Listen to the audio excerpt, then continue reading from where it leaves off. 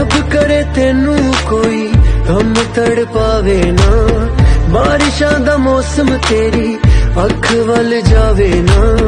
ਸਾਡੇ ਨਸੀਬਾਂ ਵਿੱਚ ਲਿਖੀਆਂ ਜੁਦਾਈਆਂ